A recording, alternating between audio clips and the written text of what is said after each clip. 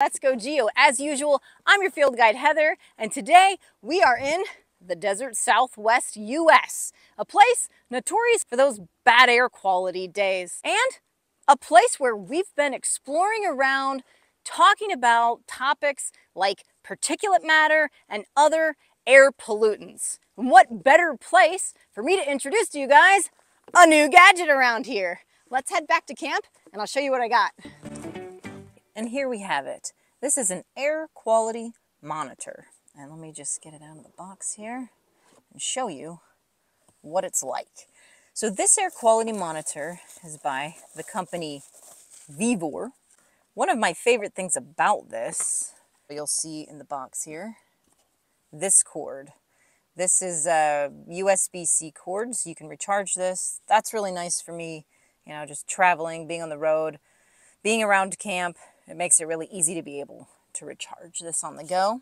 So also there's our little uh, manual that tells you some things about what this particular model of air quality detection can do. Actually just turn it on.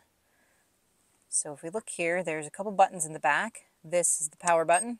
Just hold it down and it will start its cycle of turning on. When you first turn it on, this guy here is going to start at 200 and it's a 200 second countdown, just so you know. Um, if that were actually the amount, that would be insanely high and uh, you wouldn't want to be in that environment. First off, it tells us the time and a general air quality index. If it's up here, then it's poor air quality and that's bad for just about anyone. All right, so you also have your temperature and a humidity value, but let's get into the good stuff now. So these are the five indicators that make this thing really interesting. So what you'll notice is, first, PM 2.5s and PM 10s. We've been talking about this a lot around here lately and going on some interesting adventures to check out and, and, and discover what PMs are and why they matter. And again, these are sizes, so PM 2.5, it refers to 2.5 microns or less. And then PM10s are slightly larger. PM10s would be 10 microns or less. You can see the measurement is um, mic microns or micrograms. So these are 3 micrograms per meters cubed. And these numbers are low enough right now that I don't really have anything to worry about. But there are charts out there, and I have talked about them here, and I'll put, I'll put an example here too, that you can look at to reference uh, to know if these levels are high. So your PM 2.5s are really small dust particles, stuff like that. PM10s, like I said, are larger, and that might be stuff like mold spores or larger um, particles. So that's what is PM is particulate matter. So there are these really small particles in the air, and you might be thinking, no big deal, right? Actually, these are small enough to get into your lungs. That's where the problem comes in, and that's why you might want to monitor these in your environment, be it indoor or outdoor. These PMs can get into your lungs and actually work their way into your bloodstream, so they are problematic, and that causes a lot of different health problems in the short term and the long term. Uh, there's lots of studies out there. I'll throw some studies there. Now, you'll see things like PMs go up. If the wind's blowing and you're exposed to a lot of fine dust particles, also fire smoke, be it the wildfire season, which is getting worse and worse, unfortunately. Um, even if you're sitting by, say, a campfire, you would see these spike up quite high, and I'll show you that in a second. Another thing we have here is this section here, TVOC. That's organic compounds, or in this case, total volatile organic compounds. So we have milligrams per meters cubed there, and the same here. We'll talk about this one in a second. These are usually like what you see here, the measurements, we point something. If it gets higher than that, you know, if it starts getting into ones in these levels, then yeah, you then you have something to worry about. Organic compounds are, like it sounds, these are compounds, but they're nasty compounds in your environment. So those TVOCs or organic compounds are essentially dissolved gases in the air. But where do they come from? Well, this actually can be all around you most of the time, and that's kind of the scary part. These are found in everyday items in your environment. So your household products, even stuff like dishwashing, detergents, and maybe deodorants or chemicals that you're used to using in your house. Um, also building materials at a construction site, but also just in your house. It's full of building materials that may contain adhesives, so particle board and pressed woods, and in the flooring and carpeting, stuff like that. And then also around your workspace, if you're exposed to sources like printers.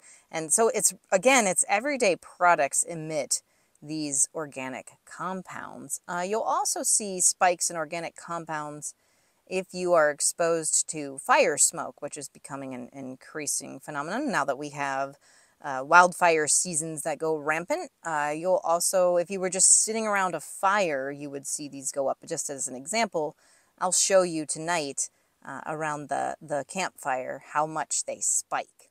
Now, one dangerous TVOC is actually this one. So this is a, is a specific organic compound.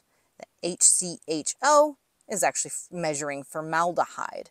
So this one is quite common and this is something that comes along with, again, those, those woods adhesives, um, paints and chemicals and stuff like that. You might be exposed to uh, formaldehyde gases. So you really want to monitor that in your environment as well. And this specifically pulls out that organic compound um, on this monitor. So I like that. And again, those are measured and, and I can put some charts up again to show you like you can look them up online as well. There's charts to show you exactly when it becomes dangerous in your environment. Okay, so our last spot here is measuring carbon dioxide. So carbon dioxide can come from a number of sources in your environment. Both your indoor and outdoor environment can have sources that will spike carbon dioxide and that can be very bad for you, if not deadly, if it gets too high. Sources of carbon dioxide vary from industrial to combustion to animal respiration. So lots of reasons why carbon dioxide might spike, but your key is some sort of ventilation or getting away from the source to be safe.